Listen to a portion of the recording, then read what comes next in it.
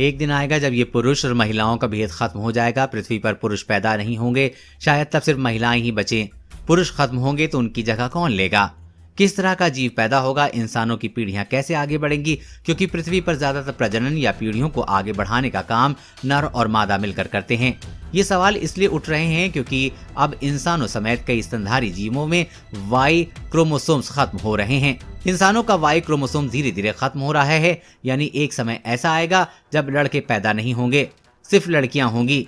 अब अगर लड़के नहीं पैदा होंगे तो उनकी जगह किस तरह का जीव आएगा, क्या कोई नया सेक्स जीन विकसित होगा? ये एक बड़ा सवाल है।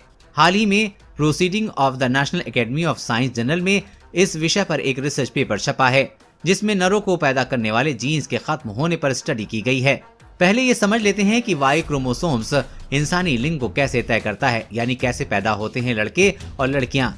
इंसानों और कई अन्य स्तनधारी जीवों में मादाओं के पास दो एक्स क्रोमोसोम होते हैं, जबकि नरों के पास एक एक्स और दूसरा छोटा क्रोमोसोम वाई इसका नाम इनके आकार को परिभाषित नहीं करता। लेकिन एक्स में 900 जीन्स होते हैं जो ऐसे काम करते हैं, जिनका लिंग निर्धारण में कोई मतलब नहीं है, यानी ये लड़का या लड़की तय नहीं करते।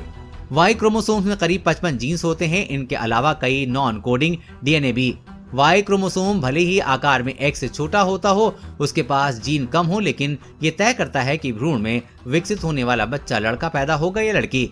आमतौर पर जब गर्भ धारण के बारह हफ़्ते बीत जाते हैं, तब मास्टर सेक्स जीन बाकी जीन्स पर निर्देश देता है कि अब तुम नर टेस्टिंग का निर्माण करो। भ्रूण में बनने वाला टेस्टिंग ही नर हार्मोन्स को निकालता है, जिसकी वजह से लड़का पैदा होता है।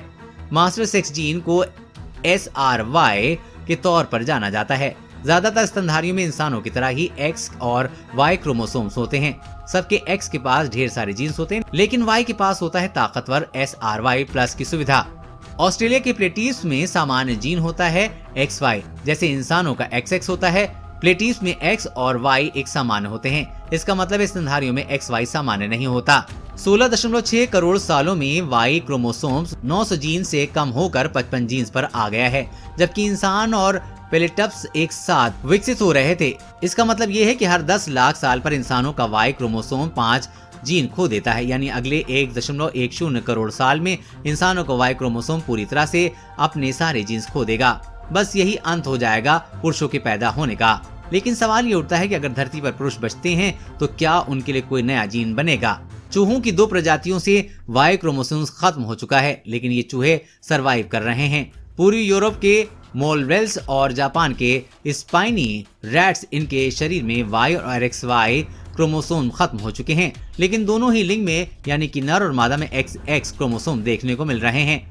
वैज्ञानिकों ये समझ नहीं आ रहा है कि ऐसा क्यों हो रहा है। हालाँकि स्टडी चल रही है, इन दोनों चूहों में वाई जीन नहीं है। वाई क्रोमोसोम्स के खत्म होने की वजह से पुरुषों के खत्म होने पर सवाल उठ रहा है। दुनिया में कुछ छिपकलियाँ और सांपों की प्रजातियाँ ऐसी हैं जहाँ पर सिर्फ़ मादाएँ हैं। ये खुद से ही प्रजनन करके पीढ़ियों को आगे बढ़ा रही हैं। इसे पार्थोजेनोसिस कहते हैं, लेकिन ये इंसानों और स्तनधारियों में संभव नहीं है। हम इंसानों को प्रजनन करने के लिए स्पर्म और एक्स की ज़रूरत होती है। अगर स्पर्म चाहिए तो पुरुष चाहिए।